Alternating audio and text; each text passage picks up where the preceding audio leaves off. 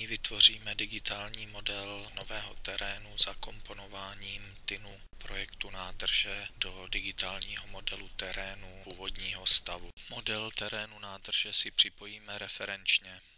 Soubor hran původního terénu uložíme jako soubor hran nového terénu. Budeme vybírat prvky pod referenčním souborem. Je dobré si nakonfigurovat eh, výběr ohradou eh, tak, aby se vybíraly buňky a texty pouze vstažným bodem. Po výběru prvků odstraníme body, výšky i hrany pod projektem nádrže. Po odmazání prvků spojíme digitální model projektované nádrže do výkresu hran.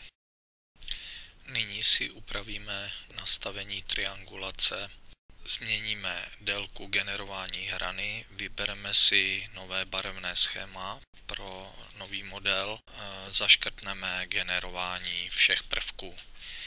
Potom tlačítkem TIN ověříme generování v půdorysném okně a ve 3D okně model také pečlivě zkontrolujeme.